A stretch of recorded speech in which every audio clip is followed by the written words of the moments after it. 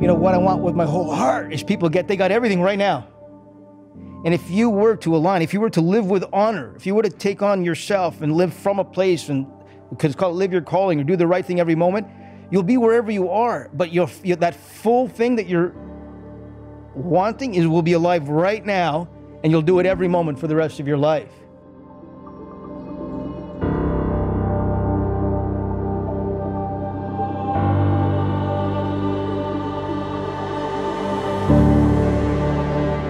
when you find where you're coming from, you this whole world opens up of hmm. energy, of hmm. resourcefulness, of nothingness, of comfortability with nothingness, like comfort with nothingness.